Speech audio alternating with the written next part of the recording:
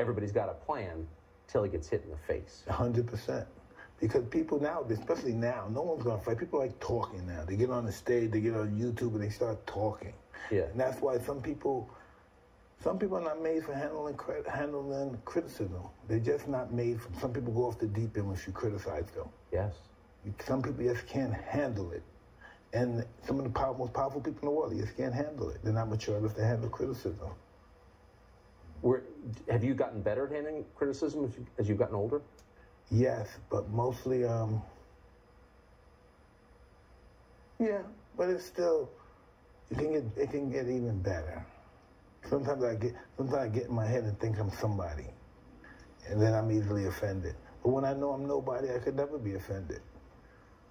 Boy, is that a deep insight. Sometimes I get in my head that I'm somebody and I'm easily offended, and then I remind myself I'm nobody and I'm not offended. Exactly, hundred percent.